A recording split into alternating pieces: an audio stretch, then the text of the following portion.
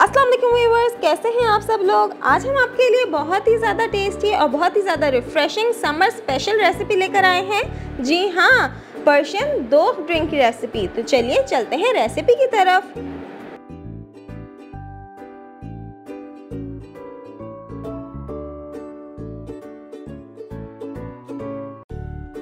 सबसे पहले हमने थ्री टेबलस्पून योगर्ट लिया है।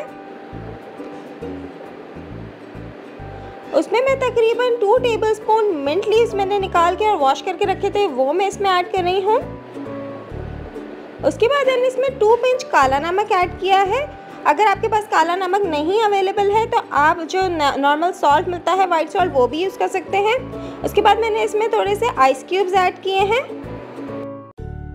वीवर्स जैसे कि आजकल बहुत ज़्यादा गर्मी है तो ये रेसिपी इस हवाले से बहुत ज़्यादा अच्छी है, बहुत ज़्यादा रिफ़्रेशिंग है, ये आपको ज़रूर ट्राई करनी चाहिए है।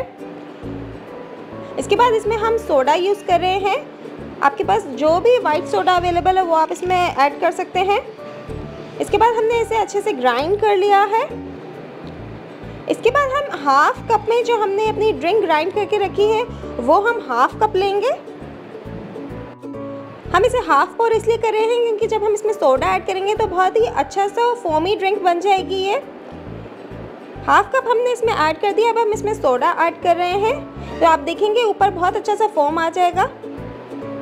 मज़ेदार पर्शियन दो तैयार है। अगर आपको हमारी रेसिपीज़ पसंद आ रही हैं तो लाइक शेयर और सब्सक्राइब करना बिल्कुल ना भूलिएगा।